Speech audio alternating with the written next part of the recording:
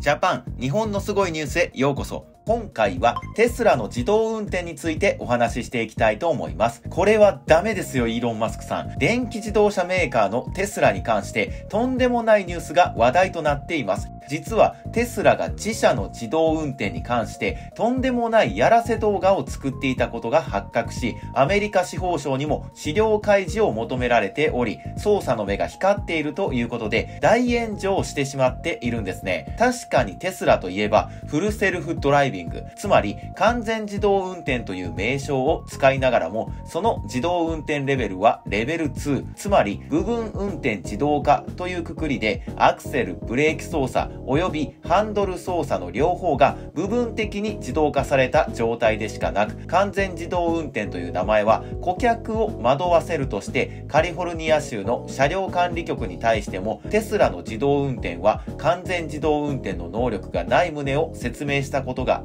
明らかになるなど人間の命を預ける機能に対して堂々と詐欺まがいとも取られかねない過剰なアピールをすることで有名でした。そんなテスラが作っていたやらせ動画とは一体どのようなものなのか、今回はその件についてお話ししていきたいと思います。このチャンネルでは世界に誇れる日本のすごいお話などをお届けしています。日本が大好きな方は忘れないうちにチャンネル登録お願いします。では行きましょう。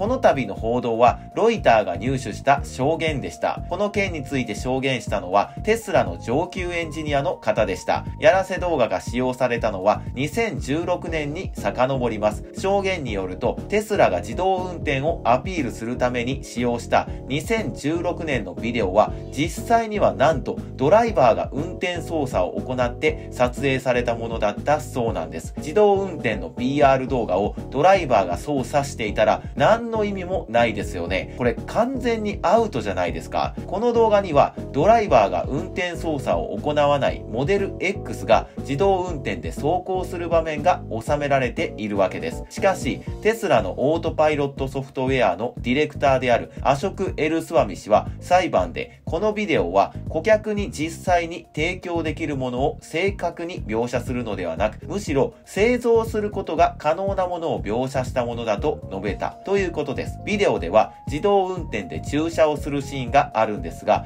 この駐車しているように見える場面は実際にはドライバーがいない時に試したところ赤信号で止まることもできず、駐車場のフェンスにも衝突したとエルスワミは報告したそうなんですね。きつすぎますね、これ。この動画自体ははイーロン・マスクの要請に応じて撮影されたもので、イーロン・マスクはこの動画の公開当日にこのようにツイートしました。テスラの車は人間のドライバーが一切手を触れずに走行すると。いや、めっちゃ嘘ついとるやんって感じですね。まあ、あながち嘘とも言い切れない微妙な表現ではありますが、とにかくこのように自動運転をアピールしました。なぜ今になって2016年の話が掘り出されたかといういうと、このエルスワミの証言は2018年にアップルのエンジニアが死亡したシリコンバレーの高速道路でのモデル X の事故をめぐる訴訟の一環で行われたものということです。テスラはオートパイロットシステムと呼ぶ自動運転の主張をめぐり、司法省と証券取引委員会の両方から調査を受けており、長年にわたってテスラ社の自動運転機能を高々と宣伝してきたイーロン・マスクスクもこのように法的問題が深刻になってきたことで最近はその自慢話をトーンダウンさせています。実際イーロン・マスクは昨年10月の電話会議で投資家に対してテスラの車両はドライバーを全く必要としない状態にはまだ至っていないと語っているそうです。実際最近も何もないところで急にブレーキがかかるファントムブレーキで高速道路でとんでもない玉突き事故がありましたし、もともとたくさんの事故を起こしています。もちろん自動運転にすることによって事故の件数が減ったという声もありますが、とはいえ本来は人間間が注意することで事故を防ぐことができるのに、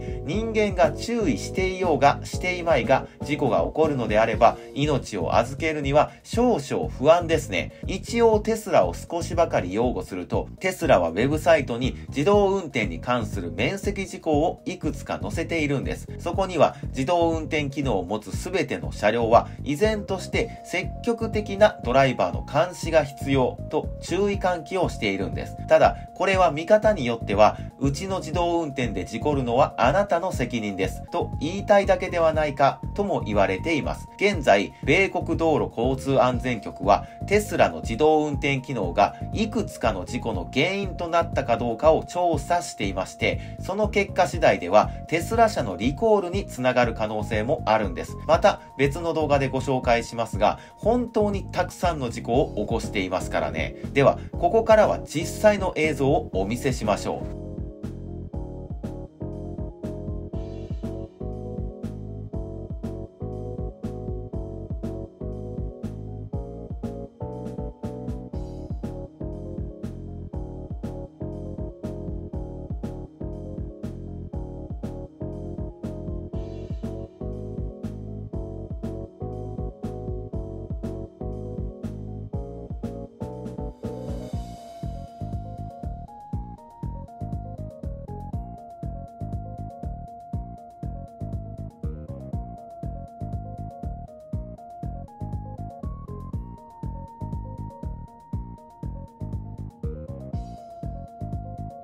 これがやらせ動画だったわけですね。ちなみにこの動画の作成を監督したのは、イーロン・マスクご本人だったことが、ブルームバーグが確認した社内電子メールで分かっているんです。動画冒頭のテキストでは、この運転者は何かあった時のために一応乗せているだけで、座っているだけです。自動で走行しています。と、断りの内容を発信していますが、この冒頭のテキストも、イーロン・マスクが直接指示する形で作られていたということです。よく日本の製品は信頼性が世界一であり、だからこそ売れると言われていますが、イーロン・マスクはこの信頼性を大きく失うようなことをしてしまったのかもしれません。これが他の製品ならまだマシでした。しかし、よりによって自動車という最も信頼性が重要な製品でこれをしてしまってはいけませんよね。私は昔はテスラを欲しいと思ったこともありましたが、このような現状を知ってしまうと、どうしても考えは変わってきてしまいます。特に助手席に誰かを乗せて走るなんて絶対にできませんね。もちろん、あくまで私個人の考えですので、テスラに乗る方々を否定するつもりはありませんし、テスラが EV として大変優れていることも分かってはいます。ただ、やはり命を乗せて運ぶものが自動車であり、その部分に信頼性が欠けるのであれば、いかに他の部分が素晴らしい自動車だとしても、やはり日本車が積み上げてきた信頼性にテスラが追いつくことはないのではないかと考えてしまいます。明らかに顧客の安全と信頼よりも利益を求めて作られたやらせ動画ですからね。皆さんはどう思いますか？信頼性のおける日本の自動車か営利主義に走る一部の海外メーカーの自動車 EV シフトが進むと言われる世の中ですから